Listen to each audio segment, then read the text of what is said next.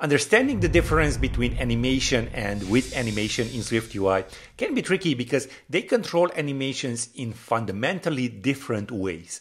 This often leads to unexpected behaviors, especially for beginners. Lucky for you, in this video I will break down the key differences with clear examples, showing exactly when and how to use each approach to create smooth, predictable animations in your SwiftUI apps. And if you want to meet with me on a one-on-one Zoom call, maybe you have a SwiftUI question, go ahead and check out the link in the description. More on this later in the video. Now today we are going to talk about the difference between the dot animation, the view modifier, and the function, the with animation. Uh, what's the difference, how to use it, and uh, we are going to dive deep into this. So for that, I have prepared a demo project. As you can see, we have two rectangles. Uh, they are filled orange and mint, and they do have a frame. Uh, if uh, and they both the width, uh, both of the frames are tied to this is expanded uh, meaning that if it's expanded, the width will be 300 and otherwise just 100. And uh, there's this button when we are toggling the uh, Boolean value. And let's just uh, take a look at this. As you can see, we have no animation. It's just going to just pop out to the 300 uh, width of that uh, rectangle. Okay, so let's just start off with the view modifier. So uh, let's just add in here animation, and we're going to use the one with the animation and value. Now, there are multiple types of um, uh, animation types, so default, ease in out. Let's just use the default for this one. And then what is this value? Well, uh, we are going to add in the is expanded. And what this means is that whenever this state variable changes uh, its value, then we are going to apply this animation that we have set right over here on the view that we have set it on. So let's take a look at this. So we are toggling. As you can see, it's just animating out with the default animation, of course. And the other one, the mint one, is just not because uh, we haven't set it up. So this means that the dot animation view modifier is scoped locally. So uh, on whichever view you add it, only that view will be animated. On the other hand, let's just uh, this out. If we uh, add the function like with uh, animation, there we go. And uh, it also has an animation and the body. We're just going to go with the simplest one. Well, rather, uh, let's just go with the default. Why not? default and then let's just add it right over here. As you can see on both uh, versions you may add the animation type. So now if I just click on the toggle both of them will be expanding with that default animation which is uh, real nice. If we wanted to do uh, change this can just go ease in out with the duration of 0.5 why not. So let's just see that You can see it just easing in and out. Now you can't see actually, the difference is uh, really small, but uh, it's really nice. As a SwiftUI developer, having the right mentor can significantly accelerate your success, saving you years of trial and error. That's where my one on one mentoring sessions come in. I provide personalized, hands on guidance tailored to your goals, whether you're just starting or looking to enhance your skills.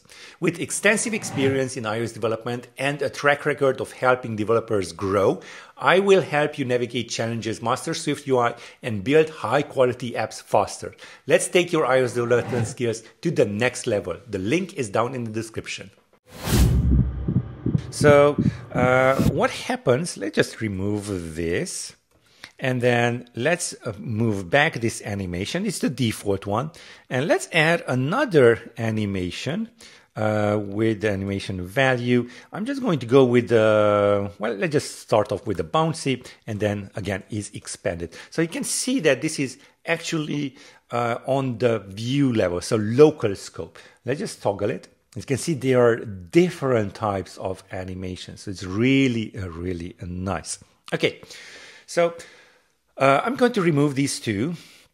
What happens, and come back with, the, with animation, what happens if I want to um, disable one of the animations. So currently we're just going to have both of them, but um, if that's the case, I just want to disable only one. So only one should not uh, take effect with the with animation. Well, we can just use the transaction. So dot transaction transaction yes and uh, we are going to use a transaction right over here transaction in so what you want to do is just add the transaction dot animation value equals, well, we are not going to ease it out and all of that stuff. We are just going to set it to nil on this view only. Remember, ease in and out duration of 0.5 for all of them which are connected to this is expanded. Now let's check it out.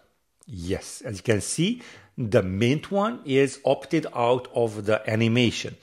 Okay, that's fine, but what if uh, I'm, let's just go back to this one with the animation and also this one. Well, uh, you can opt out again.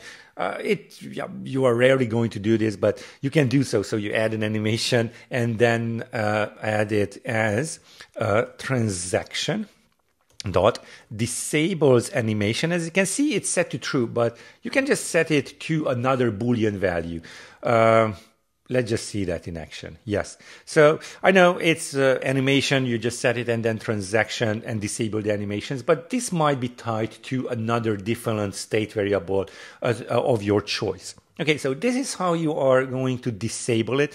Um, I know, adding the transaction, and all of that stuff. Uh, let's just create our own view modifiers for the, this.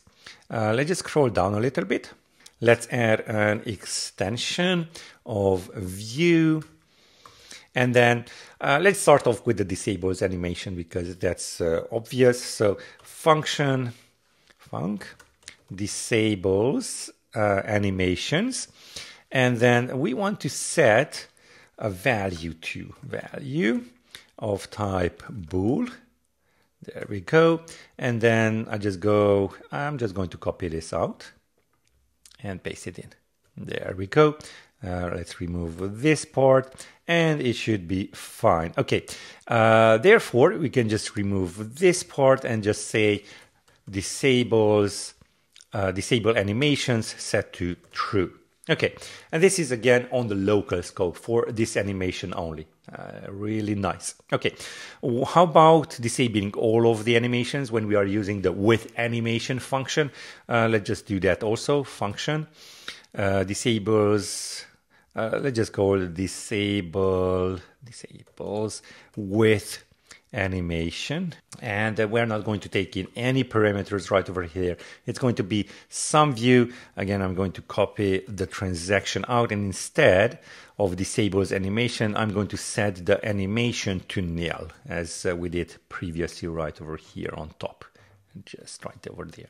So now uh, we can just test this out. Let's disable, remove that part, set uh, with animations, and then it should just go uh, really nice. It's uh, uh, omitting the animation. As you can see, if I just uh, go ahead and comment it out, it will just animate accordingly.